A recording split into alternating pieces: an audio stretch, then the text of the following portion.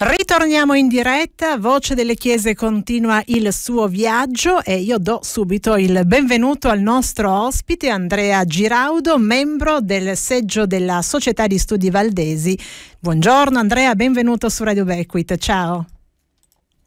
Eccoti. Buongiorno Daniela, buongiorno a tutte e tutti e grazie dell'invito. Grazie a te della disponibilità. Ti abbiamo interpellato Andrea perché abbiamo eh, scoperto una notizia andando un po' a curiosare eh, sui vari siti. In realtà ce l'hanno anche segnalata alcuni ascoltatori e ascoltatrici, segno che già insomma si sta diffondendo questa eh, notizia di un bando, di un bando per l'assegnazione di contributi di ricerca che la Società di Studi Valdesi ha lanciato.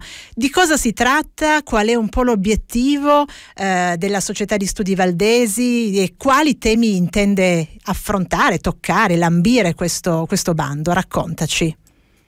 Beh, innanzitutto mi rallegro che la notizia sia, stia circolando e sia giunta, vuol dire che abbiamo fatto anche un buon lavoro di promozione. Giusto. Ma allora, la, la società di studi eh, da sempre eh, è attenta alla promozione di, di ricerche che eh, intercettino gli interessi previsti dal, dal suo statuto e con una particolare attenzione direi ai giovani ricercatori e alle giovani ricercatrici, cioè anche al fine di eh, favorire appunto l'avvicinarsi di, di queste, queste, persone alla società, ai temi che, su cui noi siamo particolarmente attenti.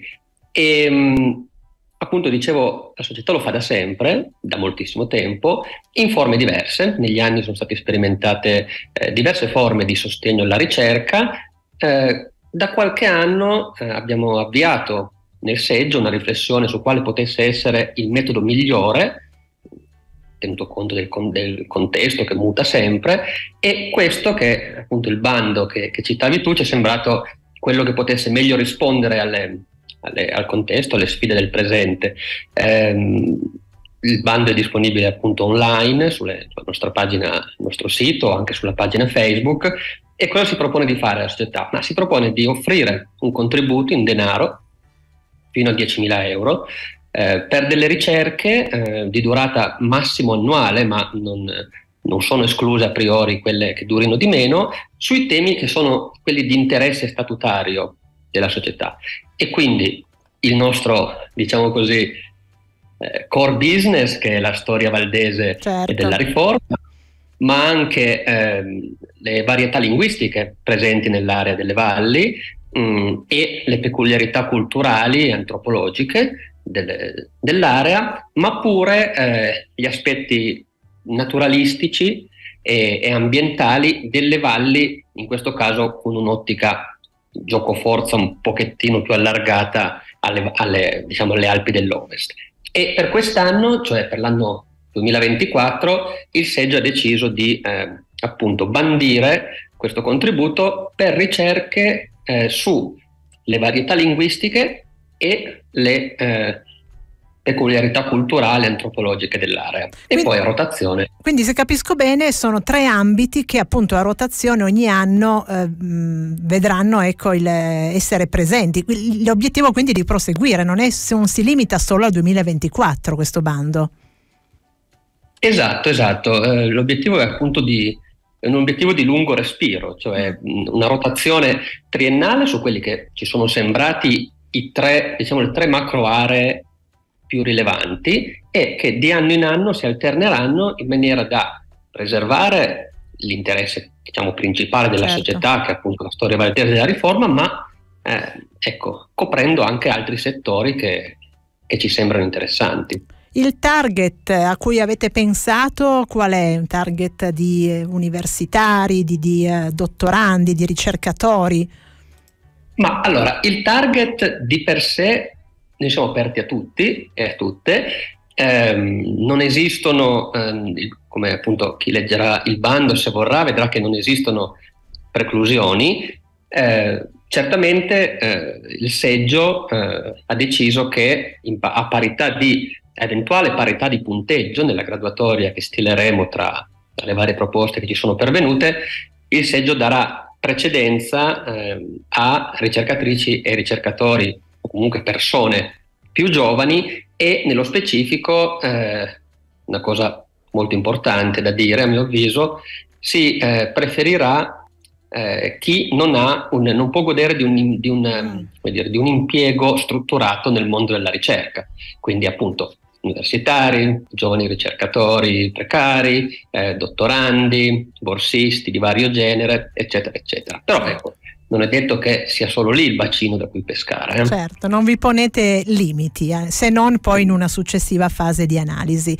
Sul sito Società di Studi eh, Valdesi, che eh, il sito è studivaldesi.org, c'è eh, il, il, PDF completo, insomma la, la, domanda, ci sono tutti i dettagli, dacci qualche informazione magari di tempistiche e poi invitiamo tutti coloro che saranno interessati o interessate ad andare direttamente sul sito studivaldesi.org, scaricarsi proprio proprio tutti i vari elementi utili per poter presentare domanda. Allora, il bando scade a fine mese, per cui affrettatevi, eh, scade a fine mese e immediatamente dopo eh, il seggio della società si riunirà, valuterà le proposte e eh, comunicherà appunto gli esiti e le ricerche, eh, cioè la ricerca o, o, le ricerche nel caso in cui eh, appunto ne valutassimo come ammissibili più di una che magari chiedono un finanziamento inferiore eh, saranno, partiranno dal, dal, primo gennaio, a decorrenza del primo gennaio e si concluderanno appunto non oltre la fine del 2024.